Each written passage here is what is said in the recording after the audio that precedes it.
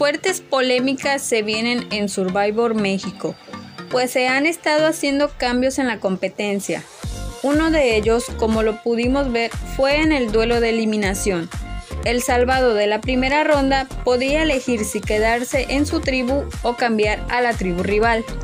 También se han revelado que Joseph regresa a la tribu de jaguares, todo en tiempo real, pues él siempre ha sido parte de los jaguares.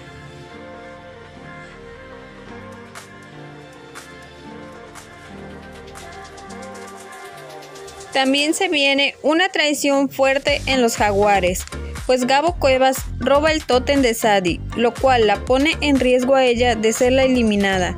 Información que ya ha sido confirmada por los spoilers. Al parecer, Sadie da a guardar el tótem a Joseph, por lo que Gabo aprovecha la situación y roba el tótem y así eliminar a Sadie.